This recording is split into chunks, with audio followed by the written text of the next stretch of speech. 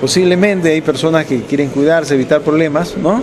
este, sin embargo, para los policías que somos de vocación, nos gustan los retos, nos gusta la oportunidad de demostrar que el trabajo de la policía puede contribuir a mejorar la seguridad en, la ciudadanía. Con estas palabras, el general Kluber Aliaga Lutman, jefe de la región nororiente de la Policía Nacional, dejó entrever que los altos mandos policiales no desean venir a Lambayeque, debido a que está considerado entre uno de los departamentos con mayor índice de criminalidad, por lo que no quieren poner en riesgo su integridad y la de cada una de sus familias.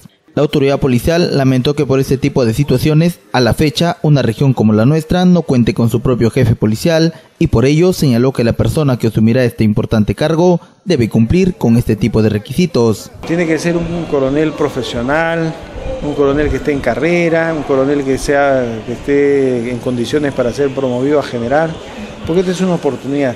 Si el coronel muestra capacidad, si el coronel muestra eh, operatividad y que restituye la confianza de la población en la Policía Nacional, que recupera la credibilidad y la confianza de los chiclayanos. Los chiclayanos están contentos con, con la policía. De otro lado, Aliaga Lutman remarcó que a José Leonardo Ortiz, uno de los distritos más convulsionados de Lambayeque, diariamente se destaca a 40 efectivos del orden con la finalidad de controlar los índices delictivos. A José Leonardo Ortiz le estamos enviando diariamente 40 policías ¿no? del escuadrón motorizado, eh, del grupo Terna, ¿no? y si es necesario, le voy a enviar toda la fuerza UCE que tenemos, con la finalidad de que haga rastrillaje en todo Leonardo Ortiz, que haga control de identidad y que eh, identifique a, los delincuentes, capture los requisitoriados. Asimismo, señaló que en los próximos días continuarán los operativos inopinados en las zonas más álgidas de la región, para poco a poco recuperar la confianza de la población en su policía.